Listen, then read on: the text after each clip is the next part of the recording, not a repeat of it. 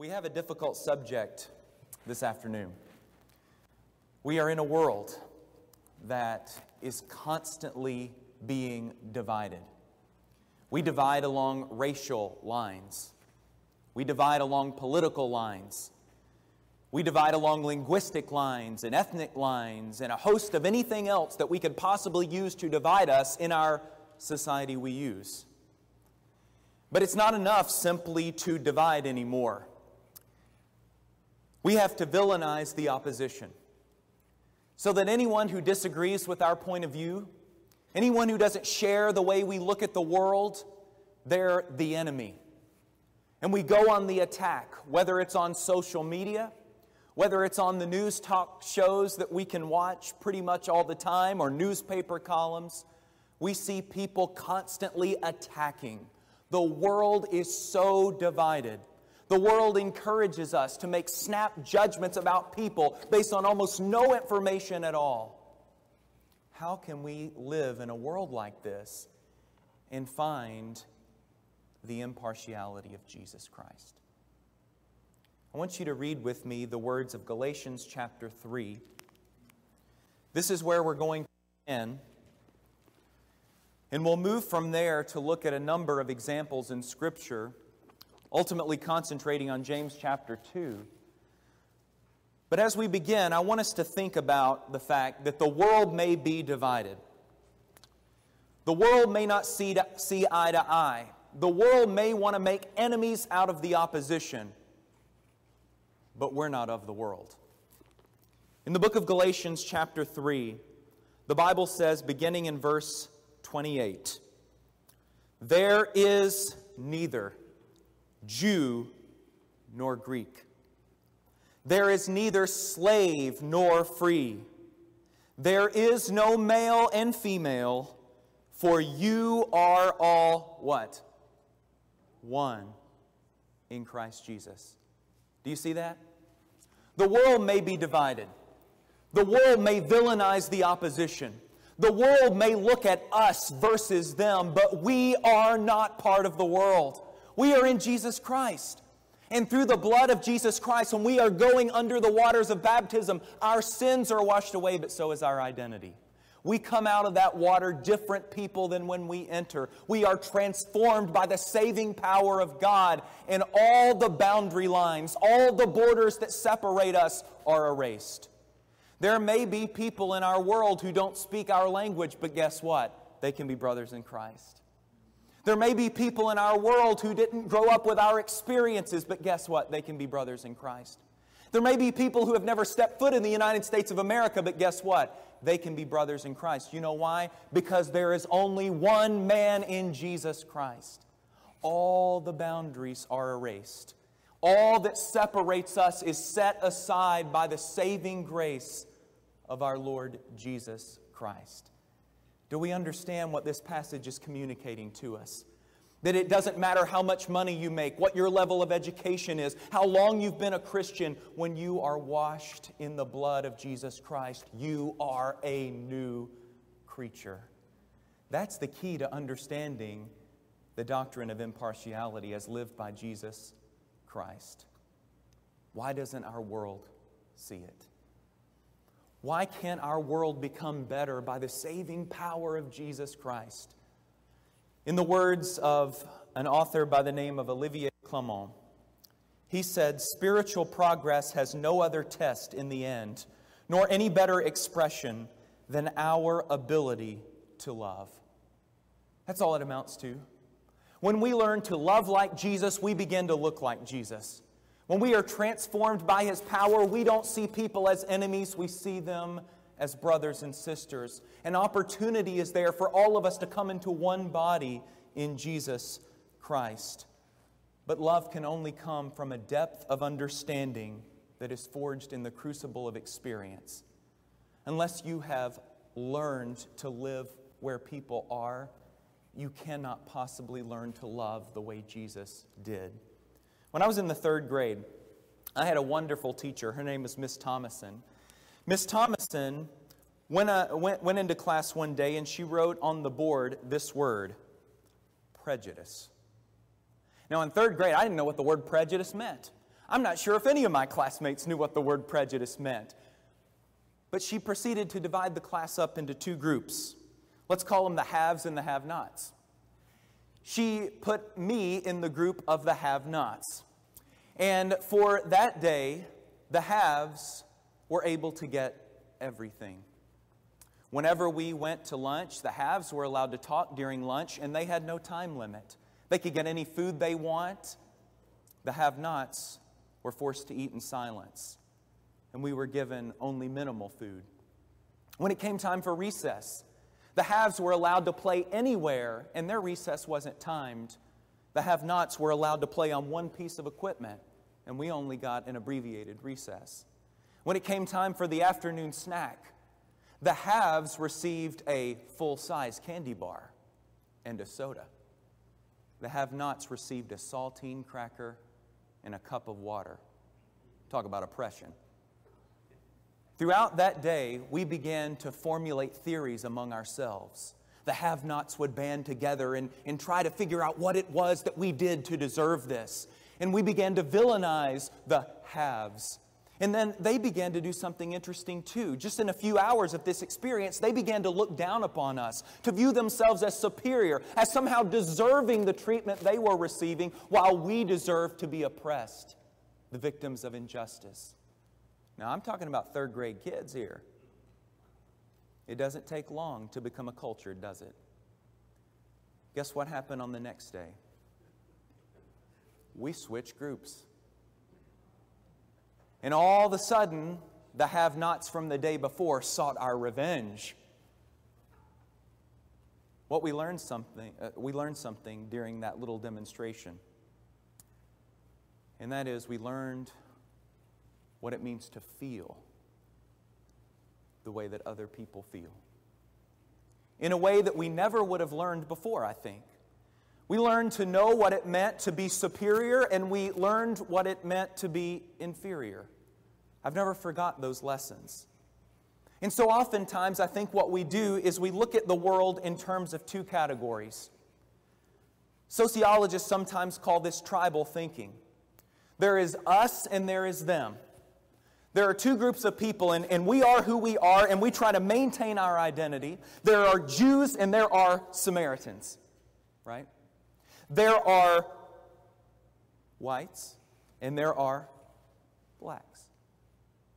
There are rich and there are poor. And we want to maintain our group identity. We don't want to be like them. Oh, we, we already know all about them. We understand them. This kind of thinking only leads to more dysfunction and more oppression. It breeds partiality. Our society has tried this for far too long and it isn't working. It isn't working in our world and it won't work in the church. But what we did in the 1940s and 50s is we initiated a different kind of model. One that began to show signs of progress. It's what we might call cooperational thinking. It's one where we recognize, yes, there is still an us and there is still a them, but we can cooperate. We can talk with one another. We can work with one another on certain projects. In fact, it may be that we even allow ourselves to play on the same athletic teams and go to the same schools and be involved in the same civic organizations. We can cooperate, but we still recognize there, there are these two groups. This has been the way our society has functioned since the civil rights movement, more or less. And in the Lord's church, this is often how we still function today. We're still divided. We still know all about them, and we think we know about us. We'll cooperate. We're civil. We maintain relationships. This is not the kind of church the Lord intended. Here's the model we read about in Galatians chapter 3. There is not an us and a them. If we want to learn to think with impartiality the way that Jesus did, we've got to stop this us and them stuff. There's just us. We've all been bought by the blood of Jesus. We're all guilty of sin. No matter where we were born, no matter what your level of education or income, it's just us. Jesus Christ died for all of us the same way. This shows up in our reading of Scripture. Look at Luke chapter 10, if you would. And let's examine this passage with this perspective in mind. In Luke chapter 10, this is the well known parable of the Good Samaritan. And you know that this parable is prompted by a question. It's not a bad question, by the way. The lawyer, which we would translate that into our culture as a Bible scholar, it doesn't mean somebody who is a professional lawyer. It means someone who is a professional student of the Word of God, as it was known at the time, the Mosaic Law. But the, the, the Bible scholar says, I've got a question. Who is my neighbor? You see, if you look back at Leviticus chapter 19, verses 17 and 18, you'll see something. That there are three different expressions that are used in that context to refer to the person to whom you are to show kindness. One of them is the Hebrew word brother. Now, if I read that word, I'm thinking, oh, well, that's a fellow Jew, right? My brother, if I am a Jew living under the Mosaic law, is a fellow Jew. The second word is one of the sons of your own people. Well, that also sounds like a fellow Jew. But the third word, which is the most ambiguous of all three words, is the word neighbor. And the question is, what does the word neighbor mean? By the way, this is a question that is debated in the Jewish writings. This is not an idea that is being asked for the first time in Luke chapter 10. It was a very common exegetical question. And so the lawyer doesn't ask a foolish question, he asks actually a pretty good question What does the word neighbor mean? Now, his question is motivated by an us versus them kind of thinking. To whom, as a Jew living under the Mosaic law, can I refuse to show, show kindness and still be compliant with the law of God?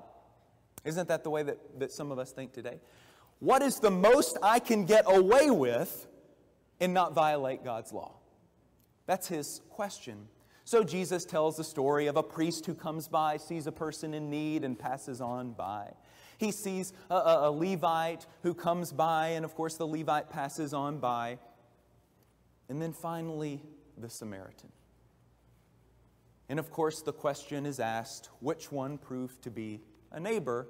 And you know, the lawyer answers that question by saying, Well, I guess the one who showed him kindness. And so we stop the story there most of the time, don't we? What we do with that story is we say, well, you see, the neighbor is one of them. The neighbor is the Samaritan. The neighbor wasn't a Jew, he was a Samaritan. Us versus them. But notice that's not where Jesus stops. Would you look with me? You know this, this is in the Bible. I, I'm not surprising anybody, I'm sure. But would you read with me the final words of Jesus from verse 37? Read it with me, please. Jesus said to him, What? You go and do like. Now, we read right over that much of the time, or at least I used to. What we do is we say, Well, well, we know who the neighbor is. The neighbor is the Samaritan. Jesus' point is not whether we can identify the neighbor. His point is whether we will be the neighbor. The point Jesus is making is that this Jewish scholar doesn't understand what the word neighbor means in Leviticus 19:18. It's whether he's willing to do what it takes to be the neighbor. One of the things that I, that I see a lot in our religious world is people on social media know all the, all the answers. They know how to fix the church. They know all the angles, but they're unwilling to actually do it. You see, there, there are no shortage of answers in our religious world, are there? I mean, I mean I, I've got all kinds of answers, don't you? Question is, who's willing to actually step up and do it? Oh, we know how to figure out this problem uh, of racial division. We know how to solve the problem of political division, but who's willing to do the hard work to make it happen? That's what we're talking about here today. We've got to be willing to be the neighbor, not just know who the neighbor is, but be the neighbor. Look at James chapter 2, and we'll spend the remainder of the time we have here. And don't worry, I am cognizant of the fact that I am standing between you and good food. And so I will take that into consideration as we look at this text today. But James chapter 2, I want you to begin looking with me in verse number 1. The Bible says, My brothers, show no partiality as you hold the faith in our Lord Jesus Christ, the Lord of glory. Notice there is a rule laid down here. The rule is, and of course it's very difficult to follow the rule sometimes, the rule is don't be partial. Show no partiality. The word partiality really means to lift up the face. It's thought to come from the ancient custom when people would bow before a king or a dignitary with their faces to the ground, refusing even to lift up their eyes because they were unworthy to look upon the dignity of someone in a high position. But if the king, or in the Old Testament, if the Pharaoh wanted to communicate with one of his servants, he would reach down and lift up his head I don't know if you sing the song here about God as the lifter of my head. It's a beautiful image. But the concept is that some people treat others that way. You treat others with partiality, where they, they are such people that they ought to avert their eyes because we're so important. So the rule is show no partiality. The problem is there's a reality involved. Look at verses 2 through 4 of James 2. For if a man wearing a gold ring and fine clothing comes into your assembly, and a poor man in shabby clothing also comes in, and if you pay attention to the one who wears fine clothing and say, You sit here in a good place, while you say to the poor man, You stand over there or sit down at my feet, have you not then made distinctions among yourselves and become judges with evil thoughts? Notice we've got a rule but we also have a reality. Just like we see in our culture today, we, we tend to know the right thing to do, but it's much more difficult to do it. In the church, already in the first century, there is a prejudice toward the rich. The gold ring was a signal of wealth. Uh, most of us, at least those of us who are married, wear a ring of gold on our hands. I have one here, uh, and uh, many of you do as well. We don't think about that as being that important. But remember in the parable of the lost son, when the son returns home, a great feast was held, the fatted calf was killed. And do you remember what the father says? Bring the ring and put it on his finger. Rings were only worn by wealthy people and then only for special occasions. So we have the image here of these wealthy people who are all dressed up. And they come into the church to kind of see what things are like, to get a sense of what's going on here in this new religious movement, kind of showing off their wealth. You've been in situations, perhaps, I know I have, where a person of importance walks in the door and people begin to look. Do, you, know, do you know who that is? A few weeks ago, uh, President David Shannon, I think he's visited here before, I understand president of Freed Hardeman, he was passing by on a Wednesday night. And uh, the church where I preach is right off a main highway in Tennessee. And so he pulled over and he came in the back door right before Bible class and sat down. I got four texts during the announcements. The president is here. I was looking at my phone thinking, what, what am I supposed to do with this information? You know, I don't know what to do here. But someone important is in the building. What are we going to do? How are we going to treat this person? And of course, uh, after the services, several people went up and talked to him. He's very nice. But you understand that this is something we deal with even today. If that person had been someone from the community no one knew, how many people would have sent me a message? How many people would have stood in line to talk to that person after services were over? I'm going to tell you it would have been the same number, but I don't know whether that's true or not. The fact is, we tend to treat people who are wealthy and important with far more honor than just a regular old visitor. Why do we do that? Are we not showing partiality among ourselves? when we make those distinctions? Notice there's not only in the church a prejudice toward the rich, but also a prejudice against the poor. The word James uses for shabby clothing in this verse is the same word he uses in James 1 and verse 21 when he tells the church to put away all filthiness. The word filthiness is the word used to describe clothing. Have you ever seen somebody come in the, the back doors and maybe they sit on the back row and their clothes are kind of dirty and maybe they look like they, they don't really belong in a worship service with the rest of us? Have you ever noticed that before? And how many people say, well, should, should we talk to that person? Or what, what, what, which, what should we do here? They're a visitor and we don't know them and they, they look funny and they kind of smell funny. And, and who's going to be the first person to go talk to them? This is true even in the church today, isn't it? Sometimes we try to behave as though we're so civilized because we have all this education and all this information and all this understanding. The church hasn't really changed a whole lot in the last 2,000 years. Because I fear, if we're honest with ourselves, many of us would respond exactly the way James describes here. The fact of the matter is, we ought to be better.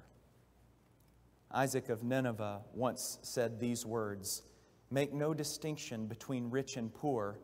Do not try to find out who is worthy and who is not. Let all people be equal in your eyes.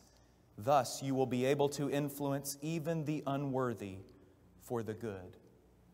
One of the most remarkable statements that I find in the Gospels is made on a number of occasions. He received tax collectors and sinners and ate with them. I haven't had a lot of people who had a reputation for being wicked in my house lately. How about you? I don't think I've had a lot of people with a reputation of being wicked in the town of Lexington in our church lately. How about you? Jesus made it a point to go out and seek the lost. He went out looking for those people, trying to help those people, and surely not everybody with whom Jesus shared a meal was willing to repent. Not everybody turned from a life of sin and rushed to the gospel of grace. Not everybody. A number of those people remained in their sins and refused to change. You see, one of the things that makes the church special is the boundary lines that exist out there, they don't exist in here. The, the distinctions that you find, the partiality, the judgment, the injustice, all those things that are a problem out there, they're not a problem in here least they're not supposed to be. We see that in the church already in the first century, you run into those problems. How are we doing it differently? What are we doing to intentionally cultivate relationships among people who don't look the way we look, who may not think the way we think, who don't know what we know? Are we perpetuating an us versus them paradigm? Or are we trying to bring people into the Lord's church? Allowing them to be taught and bought by his blood and grace. Notice James turns. Instead of talking about what they're doing, he begins to talk about what the Lord himself does. Notice in verses 5 through 7, the Bible says these words Listen, my beloved brothers, has not God chosen those who are poor in the world to be rich in faith? And heirs of the kingdom, which he has promised to those who love him. But you have dishonored the poor man. Are not the rich ones those who oppress you and the ones who drag you into court? Are they not the ones who blaspheme the honorable name by which you were called? One of the things I learned when I was in high school, I was doing uh, mission work in the Caribbean and we would go door knocking around these islands for a gospel meeting we would have. And whenever we would go with the locals, there were certain areas I noticed that we tried to avoid. And, and uh, I just asked one gentleman one day, I said, why, why haven't we ever gone down this street? We've, we've door knocked every house around this one street, but we haven't gone down this street. And he said, You see that, that house right there on the corner? And it was kind of up on a hill. And I said, Yes and it had a gate around it. It was a little bit nicer, a little bit larger. There was a Land Rover in the driveway. He said, Those people are rich. they don't hear the gospel. Now, I don't know if he was being fair in that judgment or not, but they learned something by experience. That generally speaking, those who are wealthy do not feel the need for Jesus. Those who are wealthy do not respond to the gospel. It's those who have nothing else to live for, who are disenfranchised and they're hopeless. Remember when Jesus looked at the people, the crowds coming to him, and the Bible says he had compassion because they were like what? Sheep without a shepherd. These were people who had no direction in life, they had no leadership in life, they had nowhere to go. Those are the people who were most drawn to Jesus. So oftentimes, the very people we try to target with our gospel are those least likely to receive it. And we never go to those who are most hungry for it. The Bible teaches us that God honors the poor. Notice in the book of Job, chapter 34, Elihu is speaking, describing God, and his words are right on here when he says about the Lord that he shows no partiality to princes nor regards the rich more than the poor, for they are all the work of his hands. The Bible says when God breathed into the nostrils of man the breath of life, that was the last value statement he made. God, after that point, doesn't make value statements anymore. Oh, you're a king? Well, well, let me give you just a little bit more mercy. Oh, you're a prince? Let me give you just a little bit more grace. No, that's not how it works. If you are made in the image of God, you are a soul precious in His sight. When we begin to see the world the way God sees the world, we see every human being as valuable. The problem is, so often I don't. I make the judgments and distinctions according to my worldview. I want to be around people who think like me and look like me and act like me. I'm unwilling to reach outside my comfort zone to see the value of a soul. When we put on God's glasses, we see the world differently. He doesn't regard rich and poor differently. Notice the Bible says in 1 Samuel 2 and verse number 8, He raises up, again speaking of the Lord, He raises up the poor from the dust. He lifts the needy from the ash heap to make them sit with princes and inherit a seat of honor. It is the work of God to take those who are broken and fragile and in need and give them everything they need to empower those who are powerless. One of the things that we learn throughout the Psalms is if you want God's attention, you portray yourself, you represent yourself to Him as though you are poor and needy. Have you noticed something that's funny about the gospel or about the Psalms though? That oftentimes you'll read the words a psalm of David, right? A psalm of David, and then just two lines later, I am poor. No, you're not, you're the king. Every single bit of the revenue of ancient Israel went into the palace of King David. He's not poor. Why does he call himself poor? Because he's in need. No matter how wealthy we, we may be, no matter how well equipped we may be, all of us are in need of the power and mercy of God. And if we don't think about that every day of our lives, we are not thinking spiritually enough. In Luke chapter 6 and verse number 20, Jesus says, as he's looking at his disciples, he lifted up his eyes on his disciples and said, Blessed are you who are poor, for yours is the kingdom of God. Notice in Luke's version, it's not poor in spirit, it's just poor, full stop. Blessed are you who are poor, because you know what it means to rely on a strength greater than yourself. You know what it means to be in need, and you can understand the desperation it takes to be a child of God. Just a, session before, Brother Mosier talked about Romans chapter 12 and how Paul said that we need to become living sacrifices. Think about that terminology for a moment. A sacrifice is, by definition, something that is killed. The problem with living sacrifices, as one author said, is that they're always trying to crawl off the altar. As living sacrifices, it's hard to put ourselves to death and allow God to live in us. But if we want to understand what it means to learn to lean on God, we must be willing to impoverish ourselves and to see the value in others. And there's implications for human beings in living the life that God lives. But also notice James says that the rich tend to persecute the faithful. Gregory of Nazianzus once said, Humanity has nothing so much in common with God as the ability to do good. But so often, what we find is that people don't use what they have to do good, they use what they have to enrich themselves, to, to acquire for themselves everything they want, instead of doing what perhaps He would want. Notice the Bible says in Proverbs chapter 22 and verse number 7 the rich rules over the poor, and the borrower is the slave of the lender. Does that sound like modern times? Look a few verses later in verse 16 of Proverbs 22. Whoever oppresses the poor to increase his own wealth or gives to the rich will only come to poverty. The fact is that whenever we try to ingratiate ourselves to those who are rich, we're by and large trying to get in with a group who doesn't care much about us. Whenever in the first century world you wanted to get ahead, most of the time there wasn't an opportunity for upward mobility. See, we've got this thing figured out in the modern times. And uh, uh, we tell students, I guess, whenever they're about, what, seventh or eighth grade, uh, you need to choose whether you're going to go to college or technical school or whatever. And so by the time they start high school, we've got them on a certain track. We're pointing them in a direction. And what we tell them is if you go to college and you get a degree, when you get out, you're going to get the job you want, you're going to make lots of money, and then you're going to be successful, which, by the way, being successful means making a lot of money.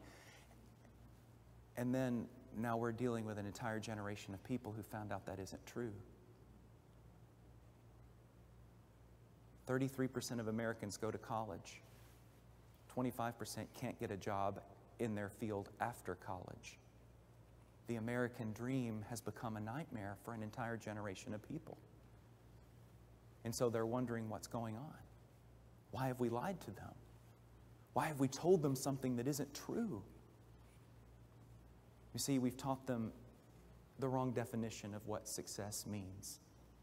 We've taught them that success means that you're powerful and important and influential and wealthy, rather than teaching them success means that you lean on God and you trust in Him for everything you have. One of the things that we try to teach our children every single day, my wife and I, she's better at it than I am, but we try to teach our children that your life today needs to be lived in order to make somebody else's day better.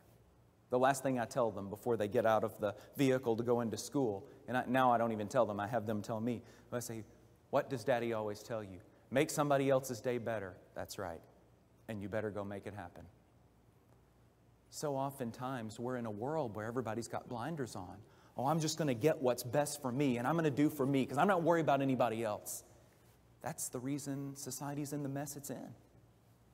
If we all look for opportunities to enrich the lives of other people, enrich their lives with our attention, with our kindness, with the gospel of Jesus Christ, we're not only going to see our churches fill up beyond capacity, we're going to see our world change. Communities will look different, states will look different, the nation will look different. But we've got to be willing to take that step, to begin to view other people, maybe even people who don't look the way we look, with value, to honor them for the people they are, made in the image of God. In fact, true wealth lies with God, and we're just distributing what He has already given to us. If I am a recipient of grace, I must be a distributor of grace. But then, thirdly, notice there is the threat of judgment that we find in this text. Back in James chapter 2, if you look at verses 8 through 13, there's not a clock in here. Is, is that strategic? Um, what time am I supposed to quit? Okay, I'm, I'm doing uh, fine then. All right, verses 8 through 13 of James chapter 2. Notice what the Bible says. So we've talked about what's going on in the church, and we see James doesn't approve. We've talked about what goes on in God's mind to see the way, uh, see the world the way God sees the world. Now look at verse number 8. If you really fulfill the royal law, James says, according to the scripture, you shall love your neighbor as yourself you're doing well. But if you show partiality, you are committing sin and are convicted by the law as transgressors. For whoever keeps the whole law but fails in one point has become accountable for all of it. For he who said, Do not commit adultery, also said, Do not murder. If you do not commit adultery but do murder, you have become a transgressor of the law. So speak and so act as those who are to be judged under the law of liberty. For judgment is without mercy to the one who has shown no mercy, but mercy triumphs over judgment. Notice there are several points that are made here. Number one, partiality violates the royal law. It's interesting that when Jesus is asked about the greatest commandments, uh, he says, of course, the first one is to love the Lord, uh, right? And the second one is like it, to love your neighbor as yourself. Notice there is a vertical responsibility and a horizontal responsibility. If I don't love God, then I'm not going to love anyone else. If I don't love anyone else, I'm not going to love God. It's very simple. John explains this in 1 John chapter 1. If we are walking in the light as he is in the light, we have what? You tell me. We have fellowship with one another, and the blood of cleanses us from all sin. If I am doing what I need to be doing with my brothers and sisters, then my relationship with God is going to be what it needs to be. But if I'm not, I can't have a relationship with the Lord. You see, life in Christ is lived holistically. So oftentimes we have people who try to claim to love God, but there's no evidence of that love in their lives. Partiality violates the royal law because it devalues everyone else or at least everyone who isn't worthy of my affection. In Ephesians chapter 5 and verse 29, the Bible gives us a hint of what it's like to love others as yourself. Paul says, For no one ever hated his own flesh, but nourishes and cherishes it, just as Christ does the church. Nobody loves you like you. That's probably a true statement. Nobody loves you like you do. You take care of yourself in a way that no one else will. You look after your interests in a way that no one else will. You think more highly of yourself than most other people do. It's human nature. So, if we learn to love other people like ourselves, think about what that means. It means that I am looking for opportunities to serve others just as often as I serve myself. I look for opportunities to feed others just as often as I'm thinking about feeding myself. When I go out to buy clothing for myself, I'm also thinking about others who might be in need of clothing to buy for them as well. One of the things that has happened in my life that has been transformative is a, going to the church where I now work. I have never seen a congregation do more for poor in the community. And I have to be honest, can I, can I confess a bit of a sin on my part? My assumption before is that people were poor because they didn't want to work. Isn't that awful that I thought that? That the reason why people were poor is because they didn't want to work. And if they would just bother to take the time to get the government's aid, they would be fine. So what, why do we have poor people anyway? What a shame that was. What I've learned is there's an entire population of people in Lexington, Tennessee, little old town of Lexington, Tennessee, they're mentally handicapped. They can't take care of themselves. They don't even know how to get the help that might be available to them. They are dependent upon the grace and generosity of other people to survive. And we've got wonderful brothers and sisters in our congregation. In our congregation itself, we spend thousands of dollars a year to make sure those people have what they need. Our young people just had a clothing drive to provide clothes, coats, socks, various items for that whole population of people, about a hundred of them every month, we serve in a special way. Now, those people are people, they're not going to be in the newspaper. They're not going to be on the nightly news being interviewed, and the church is getting a lot of credit for, a wow, look at what we're doing. That's not why anybody's doing it. But I learned a lesson. I learned a lesson there's an entire population of people out there who are slipping through the cracks Nobody cares about them and nobody is serving them, including the government. Who's going to step up? Will it be the Lord's church? To shower a world with kindness, a world that's never even seen kindness. To see dirty children who've never had a new pair of shoes receive a $20 pair of shoes from Target as though they're the greatest gift the world has ever seen. I've seen that look in a child's eyes. See, the fact is, when we make value judgments and we think we know all about them, we excuse ourselves from showing the love of Christ. And let us remind ourselves, as James tells us, that the violation of the law to love thy neighbor as thyself, it's sin. And we could do better. Notice also at the end of this passage, James tells us that judgment is falling on those who fail to keep the law of God. The Bible says in Matthew chapter 6 and verse number 15 these words But if you do not forgive others their trespasses, neither will your Father forgive your trespasses. There is a direct correlation between my being forgiven and my ability to forgive others. If I'm unwilling to extend the grace of God to someone else, God is unwilling to extend that to me. The law of liberty is the law under which I live.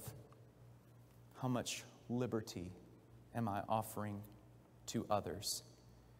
In Matthew 7, verses 1 and 2, the Bible tells us Judge not that you be not judged, for with the judgment you pronounce, you will be judged, and with the measure you use, it will be measured to you. There is a standard of judgment. The Bible does not say that we're not permitted to make judgments, it just says you better be careful because when you do, that same standard is used against you. I don't know about you, but I need all the grace I can get. I need every ounce of grace God has to give to cover my sins, my sins of commission and my sins of omission. If I need that grace, ought I be willing to extend that to others as well? When we serve others with impartiality, we learn what it means to share the love of Jesus Christ, a love that we cannot understand unless we're willing to stop viewing other people as other and start viewing them as ourselves. We only understand impartiality when we learn to love. It's interesting to me that the book that most emphasizes the difference that Jesus makes in the world is the book that also most emphasizes his humanity. The Bible teaches us in Hebrews 4, verses 15 and 16, we do not have a high priest who cannot sympathize with our weaknesses, but one who was in all points tempted as we are, yet without what? Sin. Let us, therefore, boldly come to the throne of grace, that we may obtain mercy and find grace to help in time of need. Whenever God had a plan, to save the world. He didn't think, well, I've got it all figured out. I'm going to do this for them. He sent his son to let him learn what it was like to live among human beings, to experience temptation and human frailty, to know what it was like to be the victim of injustice, to understand pain and grief and sorrow, to watch when people disappointed him time and time again. And only by living that experience could he learn to love as a human being. And only whenever he learned obedience to the things which he suffered was he then qualified to die. 100% God, innocent of all sin, but 100% man, fully understanding all temptation.